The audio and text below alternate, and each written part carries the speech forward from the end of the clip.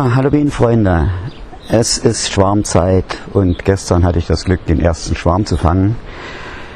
Es, wie es aussieht, keiner von mir. Ich war gerade auf meiner Baustelle da oben an der Mauer, als plötzlich eine schwarze Wolke so auf mich zugeflogen kam und habe dann so geguckt, wo die hinfliegt und sie hat sich dann bei mir im Garten niedergelassen an einen alten Stamm und ich hatte das Glück, auch die Königin gleich zu finden und mein erster Stich von einer Bienenkönigin.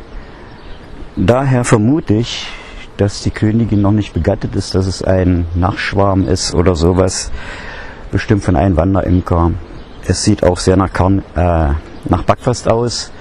Und den Schwarm habe ich jetzt hier drin, der stand seit gestern, also so 28 Stunden war der jetzt in Dunkelhaft. Das mache ich immer so, das habe ich so gelernt und dabei bleibe ich auch. Ich schlage den nicht gleich in eine Beute ein. So, der Schwarm, ich hatte den gewogen, ist nicht allzu groß, 1,5 Kilo. Also die ganze Kiste 6,5 Kilo und die Kiste alleine wiegt ja 5 Kilo. So, also was mache ich? Ich möchte den heute hier einschlagen. Ich habe hier noch eine leere Beute stehen und da schauen wir jetzt mal rein. Ich mache das immer folgendermaßen dann. Die ist komplett leer jetzt.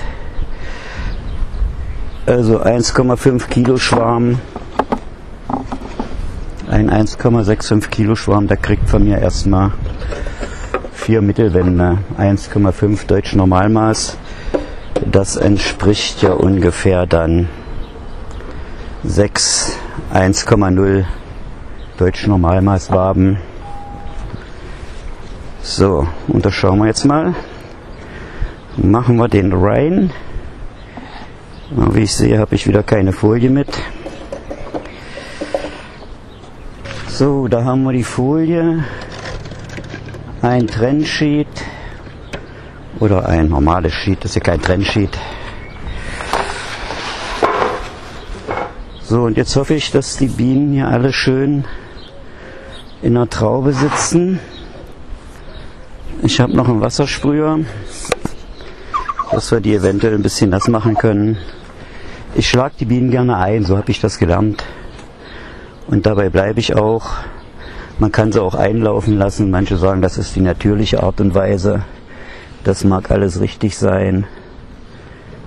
So, ich versuche jetzt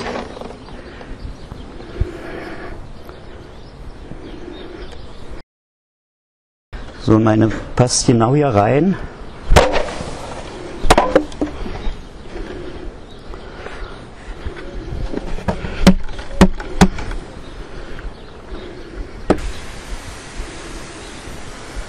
Wir machen sie ein bisschen nass.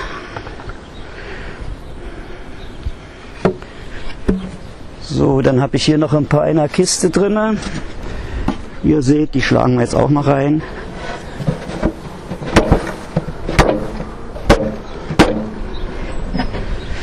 So, das war's im Prinzip schon. Fegen wir den Rest hier noch raus, was da noch drin sitzt.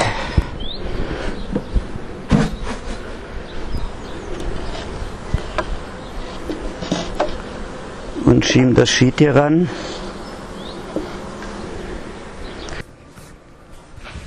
So gucken wir noch mal, wie viele Bienen da auf den Deckel sitzen. Die fegen wir natürlich noch mit rein, dass wir keine vergessen. Ja, das war eigentlich jetzt schon die ganze Aktion. Sie kriegen noch eine kleine Dusche. Und dann hoffen wir mal, dass sie sich jetzt nach vorne auf die Mittelwände ziehen. So, dann können wir das Volk zumachen. Folie drauf. Es ist etwas windig, da gibt es immer Probleme mit der Folie, aber es klappt ja ganz gut. So, das war die ganze Aktion jetzt und dann schauen wir mal, wie sich der Schwarm hier entwickelt und ob das eine begattete Königin war oder noch unbegattet.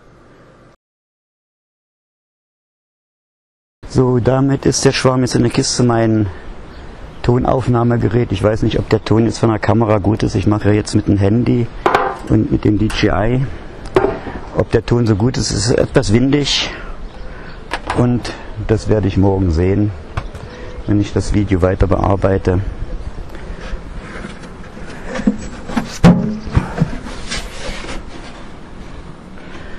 So, Schwarmkiste ist leer, alle Bienen raus.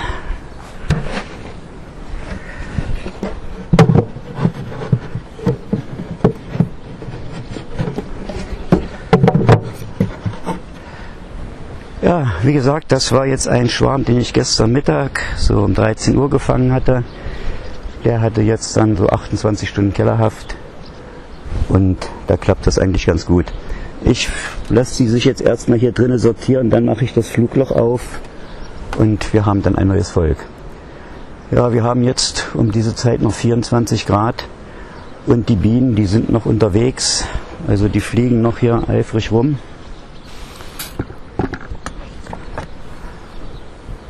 Und ich hatte heute auf meiner Waage, sage und schreibe, fast 5 Kilo Zunahmen. Ja, die kommen alle Flugrichtung Südwest-West.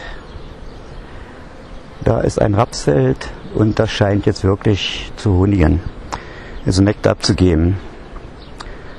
Ja, und das ist noch nicht mal, das ist dieses, hier ist ja mein Wagstockvolk drinne. Ich weiß nicht, ob die Kamera das jetzt erfasst. Ich gehe mal rum, ich zeige euch das mal dann. Stehe ich zwar genau in einer Einflugschneise hier.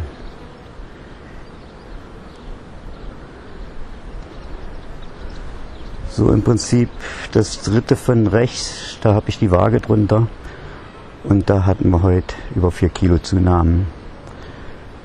Ja, das ist nicht mal mein stärkstes Volk. Das ist eine Königin, die ich von Marco gekriegt habe, eine Authentik und das sieht eigentlich ganz gut aus. So, jetzt ist nicht mehr allzu viel Betrieb. Meine Mini Plus fliegen auch alle.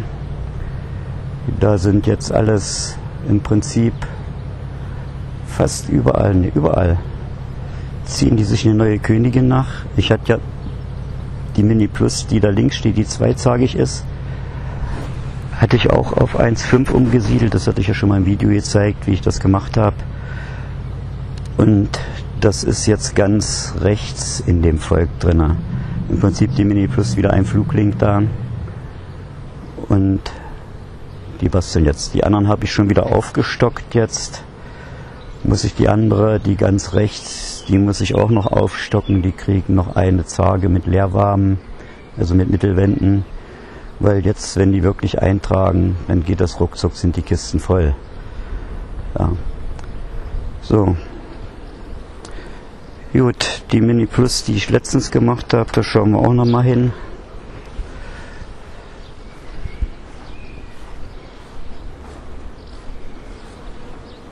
Es sieht eigentlich gut aus hier, die Dreier. Ja, mit den DJI müssen wir noch ein bisschen üben. So, das sind jetzt auch noch drei Mini Plus. Auch alles mit, wie gesagt, in der Mitte.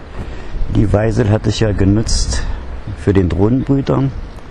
Die wurde auch angenommen, also da waren letztens auch schon verdeckelte Brut drauf. Er ist ein bisschen schwach noch auf der Brust, aber der wird sich schon noch machen. So, ganz links die Weise, die hatte ich ja verkauft. Die haben sich auch eine nachgezogen. Also im Prinzip sind, habe ich jetzt hier sieben Jungweiseln von 2021, F2-Weiseln. Das waren ja alles F1 in der Mini Plus. Und mal sehen, was ich damit dann mache. Ja, in den anderen Völkern habe ich dann immer zum Teil F0-Weise drin, zum Nachziehen eine aus Hohen Neuendorf, was praktisch die Zuchtmutter werden soll. Und in den anderen habe ich noch zwei von der Belegstelle, zwei Weiseln. Da schaue ich auch mal, was ich damit mache. Ob ich davon nochmal nachziehe.